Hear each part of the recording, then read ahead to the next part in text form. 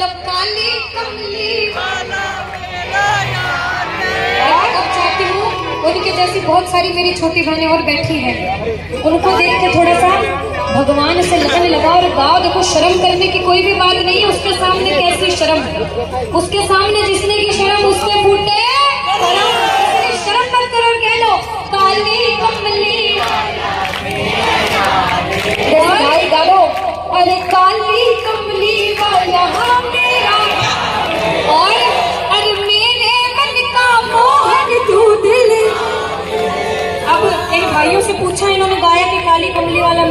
रहे मैंने कहा, भैया अच्छा आप ही गा रहे हो आपका यार है।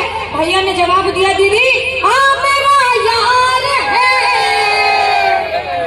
मेरा दिलदार है। बताओ, काली कमली वाला किस किसका यार है? सब कुछ है तो समर्पण भाव से हाथ उठाना। जिसका यार है, वही सीधे सीधे हाथ उठाना, बाकी हाथ ऐसे करके बैठा। बाबा